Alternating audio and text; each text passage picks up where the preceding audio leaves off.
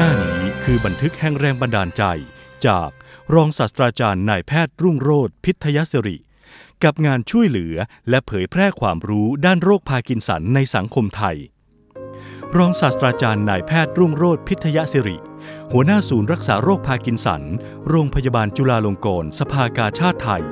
คือนายแพทย์หนุ่มผู้เชี่ยวชาญด้านสมอง ที่ทุ่มเทแรงกายแรงใจ ในการรักษาผู้ป่วย พร้อมศึกษาค้นคว้า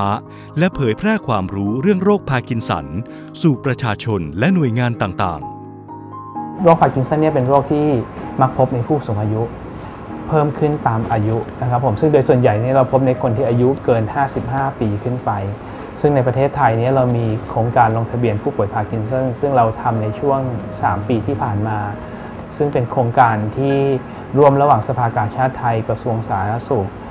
กรุงเทพมหานคร และสำนักงานหลักประกันสุขภาพแห่งชาติ เฉลิมพระเกียรติสมเด็จพระเทพรัตนราชสุดา สยามบรมราชกุมารี โรคพาร์กินสัน คือโรคที่ไม่ค่อยเป็นที่รู้จักอย่างแพร่หลายในประเทศไทย ดังนั้น ผู้ป่วยและญาติผู้ป่วย จึงไม่ค่อยรู้จักวิธีการรักษาและดูแลอย่างถูกวิธี รองศาสตราจารย์นายแพทย์รุ่งโรจน์ พิทยศิริ จึงมุ่งมั่นทุ่มเท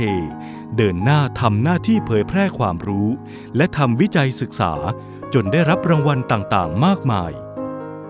วิธีสังเกตง่ายๆ ในพาร์กินสันคือสั่นบวกกับเคลื่อนไหวช้านะครับ เคลื่อนไหวช้าหมอเน้นนิดนึงเกิดขึ้นกับผู้ป่วยพาร์กินสันทุกราย